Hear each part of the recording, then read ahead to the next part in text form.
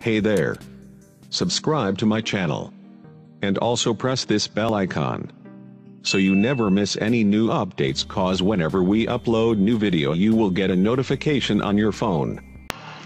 Hi friends, welcome to the desk, Deva English spoken class. Friends, how are you? Well, na? friends, in the last class I taught you about the future continuous tense. And उम्मीद करता हूँ कि आप अच्छी तरह से समझ गए होंगे. And today I am going to teach you future perfect tense. Okay friends? So let's start the class of the day.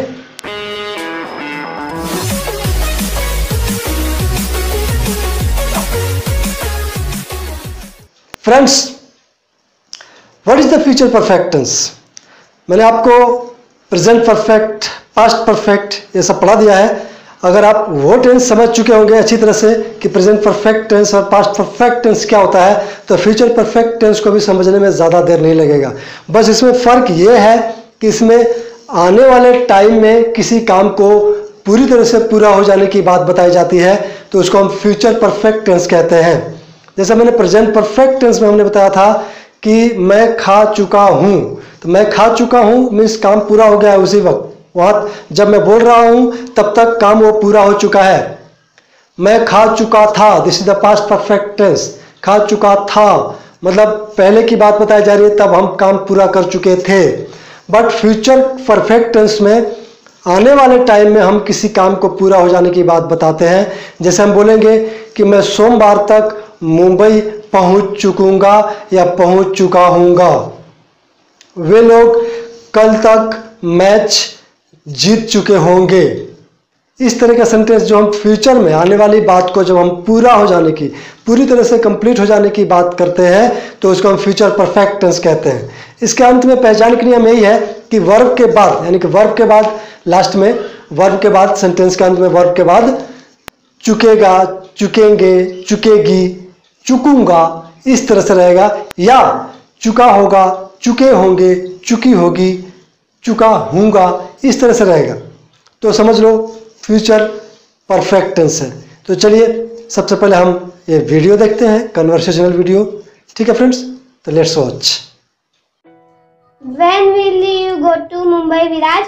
I will go to Mumbai tomorrow. What is the matter, Anjani? Why do you want to know this? Just for nothing. I also have to go to Mumbai. I never gone to Mumbai. Why do you want to go? I have to go to see the Gateway of India. I will also see Gateway of India. I also want to go to Mumbai. Very nice. It will be great fun if you come with us. I have to buy some dress for New Year's. But when will you come back? The next day will come. Okay then, well, see you at s- station tomorrow morning. Okay. Okay friends तो शुरू करते हैं आज की topic मैंने making formula लिखा है subject plus shall will shall will तो लगेगा ही लगेगा इसमें प्लस इसमें हैव लगेगा।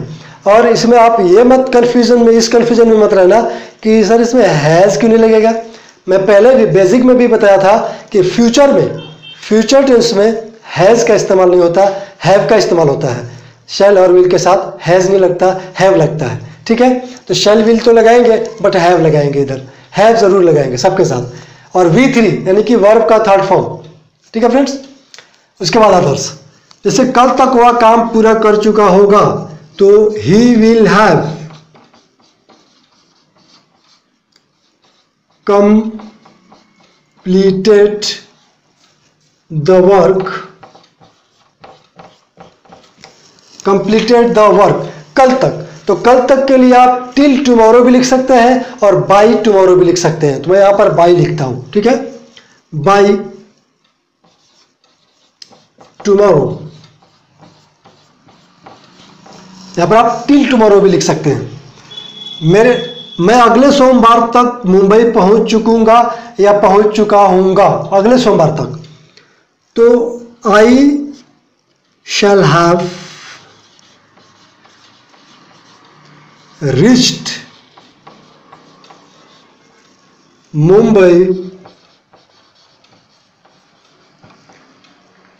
till next सोमवार तक है तो मंडे